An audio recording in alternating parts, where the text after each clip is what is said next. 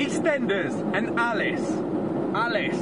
Who the fuck is Alice? Well, if you would have asked me two months ago, I'd have said exactly the same thing. Because she used to wear like flowery dresses and shit. And yeah, she looked like a bit of a girl next door and she probably never touched and was a virgin until Michael Moon got into her and then she lost the virginity.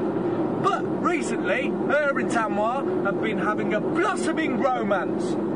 All that fucking spoil now because she kissed Michael and stayed with him. Fuck's sake! You cheated on Tamwar, you bitch! Why did you do that? He's a nice lad. Alright, he might be a bit of a geek and boring, but he's a nice lad. He's better than that twisted fuck Michael Moon, isn't he? Why'd you cheat on Tamwar, you absolute bitch? You should be ashamed of yourself, you bastard! Return the, return of